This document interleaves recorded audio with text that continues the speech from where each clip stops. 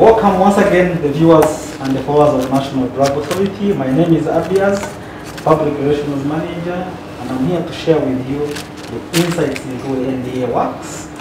Those of you who followed us in our first episode, we looked at how NDA regulates uh, herbal medicine. Today, I bring to you inside our, our National Drug Authority laboratory, by the way, which is World Health Organization uh, pre-qualified, ISO certified, and we'll continue with the discussion we had on herbal medicine. But today we go deeper. We're going to be looking into how National Drug Authority scientifically analyzes uh, all herbal medicines uh, in Uganda to certify and to make sure that these are safe for Ugandan consumption. Thank you, Abdiaz. I'm uh, Comfort Were, Elisha Hakim, Abdul Hakim Senyange, and um, charged with the testing of herbal medicines at the National Drug Quality Control Laboratory.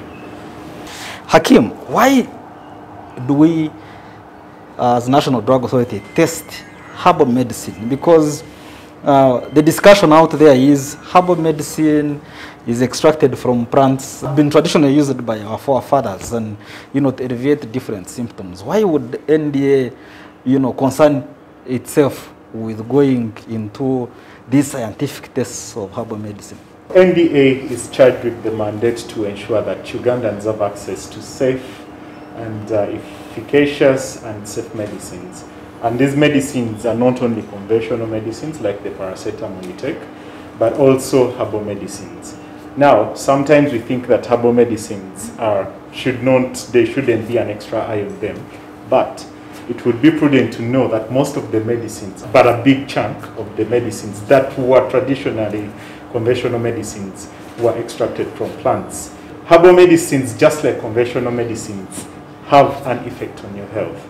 And National Drug Authority, because of the mandate conferred upon her by the National Drug Policy and Authority Act, is supposed to ensure that the Ugandans out there are not harmed by the medicines they take. Whereas there might be uh, a notion, generally people think that herbal medicines are safe, they can actually impart harm.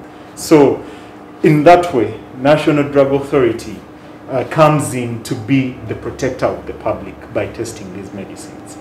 Without NDA doing this, there is a lacuna. Yeah. Interesting. Thank you so much for that era- elaborative introduction on why. Now, I just would like you to quickly take me and our viewers. What do you do, uh, you know, uh, at, at this lab? So um, when the samples are picked from the market, and uh, that is by our inspectorate uh, directorate, um, uh, there are various reasons why they have been picked. Uh, those reasons could be maybe they suspect the product is not safe for consumption, they suspect the product is falsified, someone is pretending that they're providing a product that is not actually the right product. So there are very many reasons stimulate or uh, cause the initiation for the picking of a sample from the market.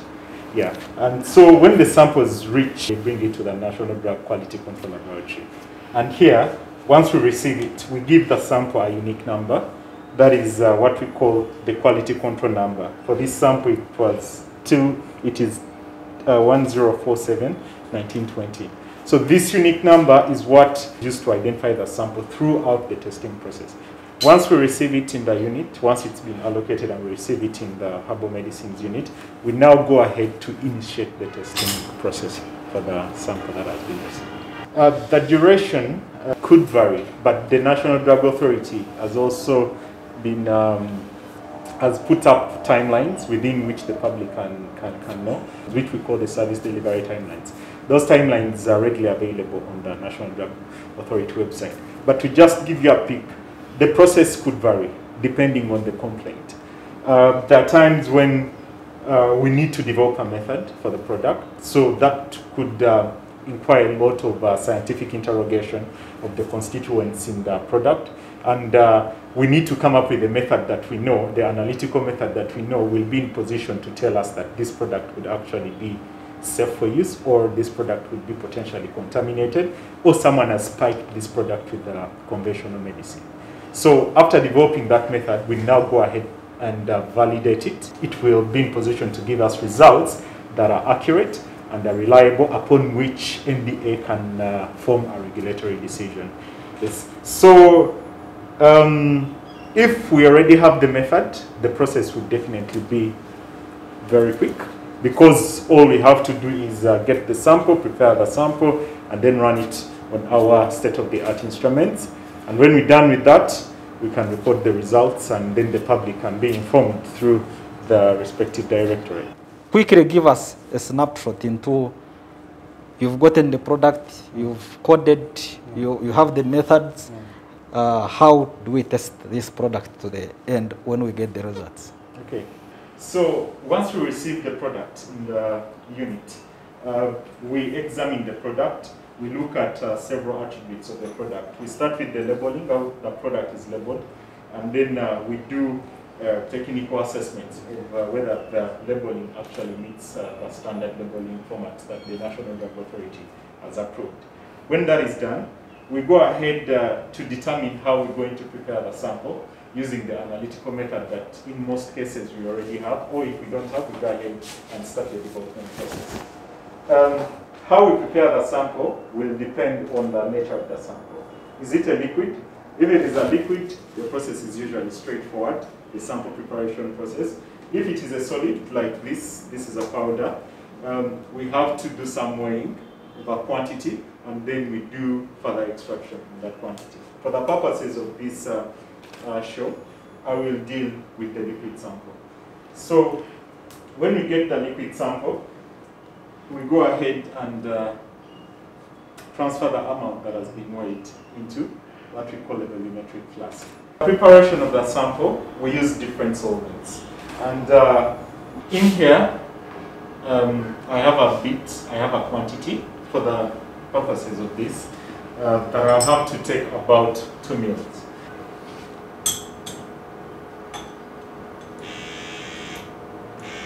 After doing the sample filtration, that is the sample in here, well filtered sample, um, I'll take about two mils using this world-class pipette, it is class A.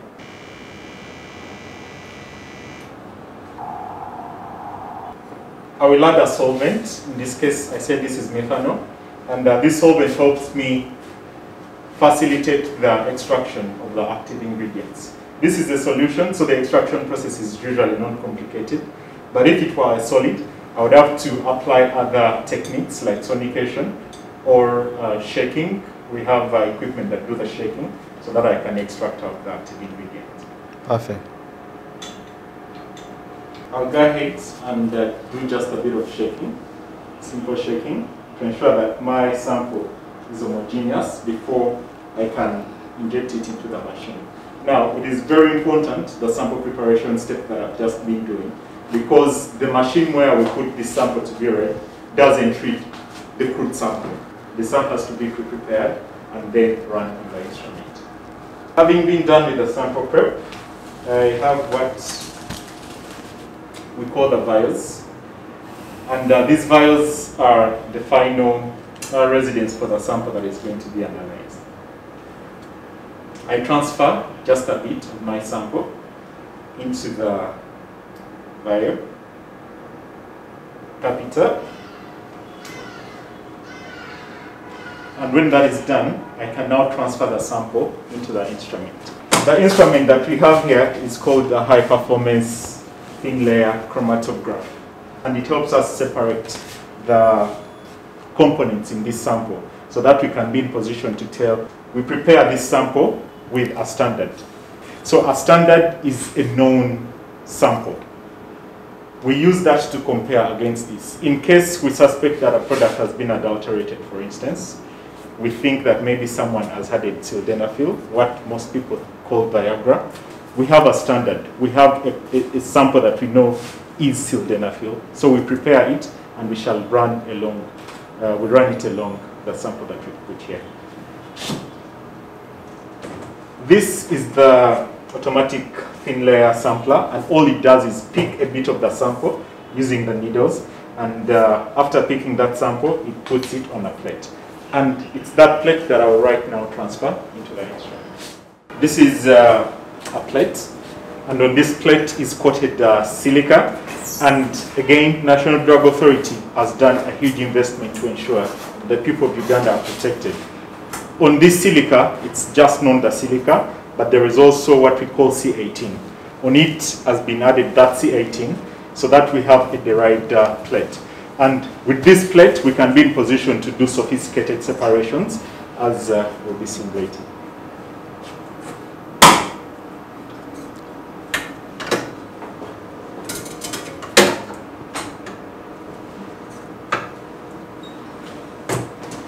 When that is done, we put on the gas onto this instrument and the instrument will go ahead and uh, do the sampling. This uh, is the software that we use to set up the instrument and I'll just do a quick demo. I set up my methods, I save it safely and I can be in position to select what I'm going to use for the analysis. So for this particular one, like you saw, uh, we start off with the visualizer, which is that component, and then we go to the spotter, where you just saw me put the plate, which is that component. I click on it and then it comes down here, and then I put on the chamber, which is this component, and then I go ahead, uh, after it has been dropped, I want to see what is in there. I put this back, and then I finally put what we call the scanner, and after that I finish setting up my method. So my method is set up, the plate is this, and then I put the samples here, and then it is ready for analysis. When it is ready, I just execute the method. Uh, Hakim, this is you know an interesting journey, uh, starting from how uh, the the sample is prepared into uh, the actual testing, and our you know for our viewers, they have to appreciate that we're not going to get the result of our sample today because it takes you know such a uh, a long time for it to go through each of these machines and every step is necessary. But you know, for our viewers, we would like to know what do we usually find out uh, from the samples you know we get into into this unit. Thank you. Thank you, Abias, again. Um, we get uh, different results. Uh, definitely, we usually don't know what we shall find when we start our testing. And uh, we can only make uh, the confirmation at the end when the results are out.